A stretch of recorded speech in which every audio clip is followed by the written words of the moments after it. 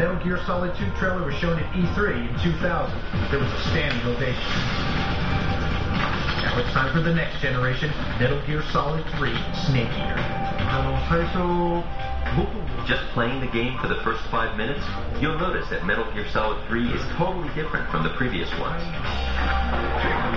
First of all, the setting will be the jungle. It'll be caves. It'll be the mountains. Different settings. And the time setting will be the 1960s, when espionage was the big thing, when spies were spies. And doing all this spying in the jungle, I guess what you'll see the most is trying to hide yourself from the enemy, and the enemy trying to find you. This element of espionage will be so much stronger than any previous Metal Gear Solid. In the previous Metal Gear Solid games, the only enemies were human. But as Solid Snake in Metal Gear Solid 3, you actually have to survive in this natural environment first, before you get to the human enemies. For example, if you're in the mountains when you're climbing up a slope, your stamina is going to be affected. You're going to be tired more easily. And you'll also be affected by the weather and temperature. Like if it's cold, you might start losing your energy power back up, you'll need to go hunting. Lunch might be an alligator or a frog, and of course the title-making snake. But as usual, there's a signature Kojima twist. You're in the jungle and you'll see animals around. You can actually hunt these animals and eat them for food. But not only can you capture animals to eat, you can also capture them and use them as weapons. For example, you could grab a snake and maybe throw it at an enemy, so it's snake eating and snake throwing, combined to help battle the environment and the enemy. But you better not forget to be stealthy. If you just stop, look around, hear something from the side, look in that direction, you'll see something. It might be an enemy, and if the enemy sees you, he's going to attack you. And that's something to be avoided. Fortunately, the MGS crew has you covered in at least five different ways.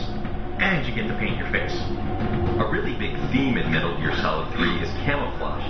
Depending on where you are, depending on what kind of vegetation there is around you, you'll be changing your gear so that the enemies won't be spotting you as easily.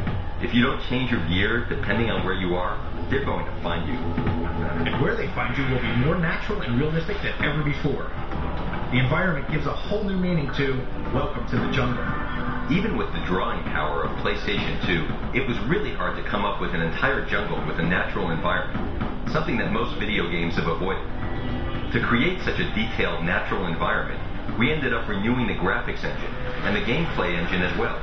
When you actually step into the jungle and when you're standing there, that sense of presence, you really feel like you're in a jungle. You'll also feel like you're really in the 60s. It's not an Orwellian time machine thing, but you'll be back in the 60s anyway, man. I was born in the 60s, so it really wasn't that distant of a past for me. But many of the guys on my team are young. They were born in the 70s. And for them, it was really hard for them to sort of get a grasp of what the 60s were like. We've read a lot of books and seen all the films from the 60s and listened to the music and even studied the fashion of the 60s.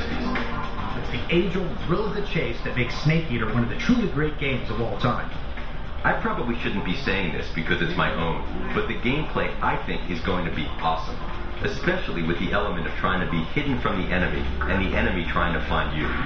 That element is just going to stand out so strongly and vividly in this game. The level of tension in this game is something you've never experienced before.